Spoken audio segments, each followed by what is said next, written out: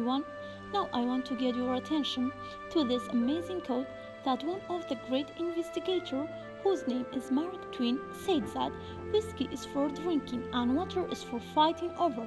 In his quote, we can infer that water is the most important tools for continuing our life on the earth because we don't only need it for agriculture. Also, our body is comprised more than 65% of water. In order to protect our generation future, our government has created some big dams since 3000 BC that have two sides. We can say it has advantages and disadvantages. Let's have a brief definition of dams. Dams are a massive barrel that store water of underground stream and it builds across the river. There are two types of dam First one is created by stone and second one is created by cement. There are many dams in our community Kurdistan region include Dukan, Duhok and Derbandi Khan Dam. Dukan Dam which is located in Suleymania was built in 1957 and its height is 151 meters and 1151 feet. Dam has advantages and disadvantages. Now I am going to tell you the advantages of dam. First of all, dam is used for hydroelectricity power. For example, more than 60% of Kurdistan region's renewable electricity comes from Dukan Dam, but 90% of renewable electricity comes from dams in the world. The main reason of building Dukan Dam was for hydroelectricity power. Second, it was for providing drinking water and control flooding.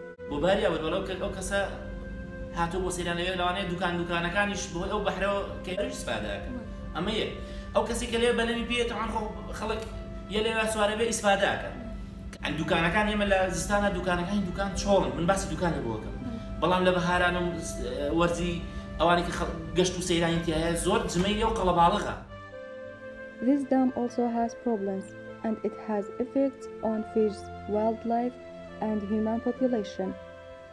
First, it has a big impact quantity of fish number, migration, and fish movement. The dam blocks fish migration with many species completely, and it makes all the species in danger. Dams have chemical and biological properties of rivers and streamside. Dam makes water to be cold, and cold water have less nutrients, so it is killing fish.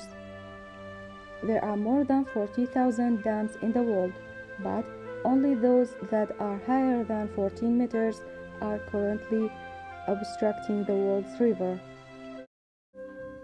Dams have impact on human health. For example, the sound of the turbines has big influence to workers who work in downstairs of the dams this big noise every day. As a result, it will dangerous their sense of hearing. Additionally, rising water level is one of the problems.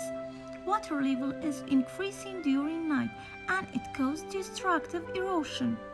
Increasing the level of water is more dangerous than decreasing its level because it gets really high and it causes to endanger the dam.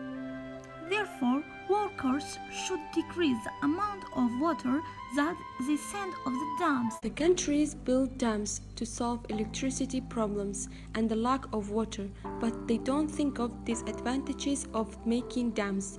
Now I'll focus on solutions for these problems. First solution is using wind energy instead of building dams. William Kamkwamba was the first person who built wind turbine for his own house in 2002. Wind energy generates electricity. United Kingdom is the windiest country in Europe, receiving 40% of Europe's wind. And turbine displaces 2000 tons of CO2 every year. Wind power doesn't use water to generate power and it's environmentally friendly. For using wind energy in our community, we need to form an effective organization with people to support us to ask the government to use wind energy. For example, we can collect a significant number of signatures.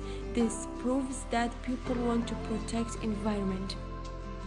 Second solution is informing people about negative impact of dams in social media by giving hashtag on Twitter or Facebook such as protecting fish or effects of dams. Third solution is making a group of students. This group should go to kindergartens, schools and universities to explain dams and impact on environment. By these three ways we can solve problems of dams.